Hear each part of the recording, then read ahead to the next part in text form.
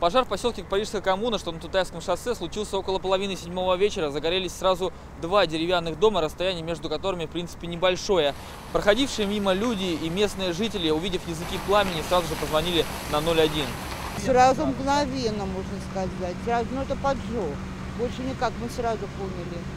Пожарные расчеты до места возгорания добрались быстро, приехала и бригада медиков, однако медицинская помощь никому не понадобилась, потому что оба дома в настоящий момент расселены. Горит внутри, мы зайти не можем. Произошли обрушение чердачных э, помещений и э, обрушение кровли, чердака и межэтажных перекрытий. Сначала на место возгорания приехал только один расчет, однако его сил не хватило, чтобы справиться с огнем, поэтому вскоре прибыло под- подкрепление. Сейчас на месте работает автовышка, и пожарные пытаются э, пролить стены здания, чтобы как-то справиться с огнем.